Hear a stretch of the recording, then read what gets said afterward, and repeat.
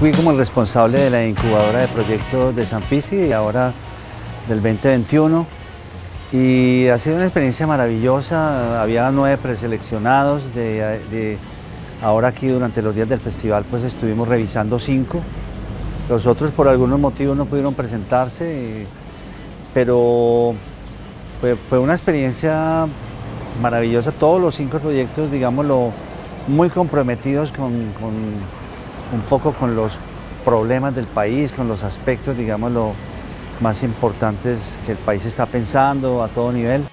Junto con Víctor Gaviria hicimos parte de los jurados y asesores de la incubadora de proyectos de Sanfisi. La incubadora de proyectos es una actividad, ¿cierto? una especie de taller eh, que compartí junto con Víctor eh, Gaviria, en donde se expone proyectos audiovisuales de películas de largometraje que se encuentran en etapa de escritura para buscar financiación. Seleccionamos cinco que estuvimos trabajando con una intensidad de cinco horas diarias eh, por tres días, ¿no? hablando con eh, los productores o los directores que se habían presentado con su película. ¿no? Entonces, pues tuvimos unos proyectos muy ricos. Eh, digo esto porque los cinco proyectos que se presentaron son eh, películas, proyectos que tienen mucha madera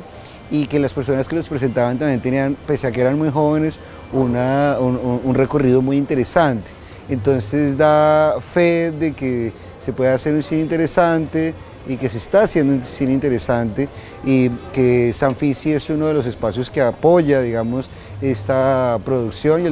y desde acá el desarrollo del cine colombiano. El proyecto Mujeres Represadas es un documental centrado en la lucha de las mujeres de los caseríos aledaños a la obra Hidrosogamoso. En el año 2015 ya se movilizaron hasta la ciudad de Bucaramanga a pie para hablar con la gobernación, contarle sus problemáticas y buscar soluciones ante esto y duraron seis meses viviendo en el Parque García Rovira sin que recibiera una respuesta ante esto. Hoy, seis años después de ese evento, retratamos la historia de estas mujeres, cómo fue esta agonía que pasaron en esos días, cómo era el río antes, cómo eran sus comunidades antes y cómo están reinventándose ahora con nuevas formas de ser económicamente, socialmente, culturalmente y cómo todo este impacto desde la represa ha afectado sus vidas para siempre. Tenemos opiniones importantes que sentimos que era justo lo que necesitaba el proyecto. Y siento que lo más importante de la incubadora no es solo la asesoría que tuvimos con Víctor y con Armando, sino el hecho de que compartimos con más realizadores en el que cada uno desde sus puntos de vista, desde sus historias, desde sus realidades, pudo aportarle algo importante a la historia. Siento que eso es lo que más le va a aportar y siento que de eso tenemos que apropiarlo al proyecto y llevarlo a la realización. Mi proyecto con el que estoy participando en el Incusan se llama Guerri, es un proyecto de largometraje de ficción, está inspirado en un cortometraje eh, de un trabajo previo que vengo realizando con un, con un joven de un, de un, barrio popular. Eh, y la historia gira en torno a este pelado que, que, que vive en un mundo un poco complicado, digamos que falto de oportunidades, pero se le presenta la, opción de protagonizar una película, presenta un casting que ha elegido y emprende una aventura y un proceso de preparación actoral para poder convertirse en este personaje principal de la película. Este es como el punto de partida de la idea que estamos trabajando eh, aquí en el Incusan con los tutores. Eh, bueno, tenemos como tutores a Víctor Gaviria eh, y a Armando Rusi, que son dos personas pues con criterios bien importantes que nos están ayudando muchísimo en el proceso creativo, eh, con dinámicas de reflexión, de autocrítica, de cuestionamientos, con reflexiones. Eh, yo creo que estos espacios pues son bien importantes para, para el desarrollo de los proyectos en las regiones. Y mi proyecto se llama Miss Colombia. Eh, llegó a Incusán porque pues vi toda la convocatoria, la publicación que hicieron en redes sociales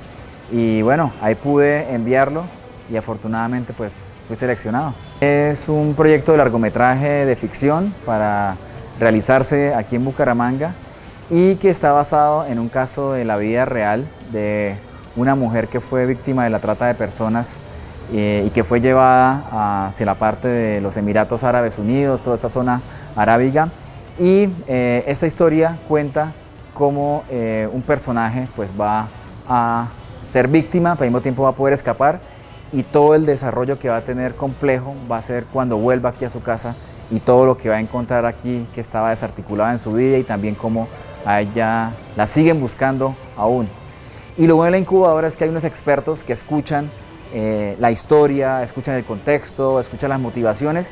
y le, le dan a uno algunas ideas, posibilidades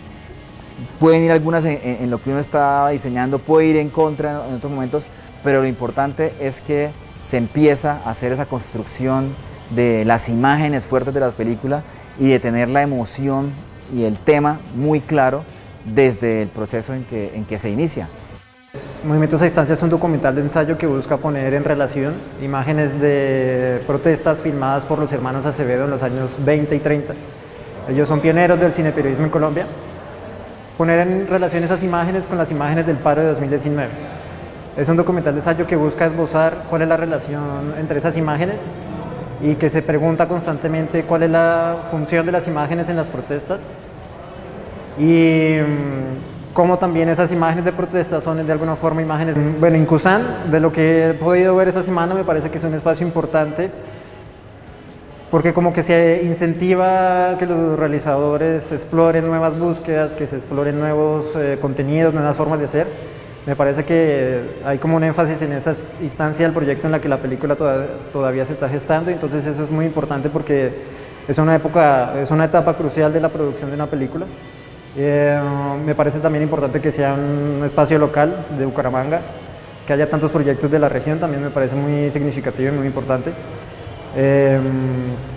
yo creo que hay que seguir manteniendo el, espacio porque creo que gestionar ese tipo de producciones desde una visión local, regional, em, me parece importante. Perros de Niebla es un largometraje de ficción que cuenta la historia de Javier, un joven pandillero que vive en El Dorado, un barrio periférico de la ciudad de Bogotá. En este barrio em,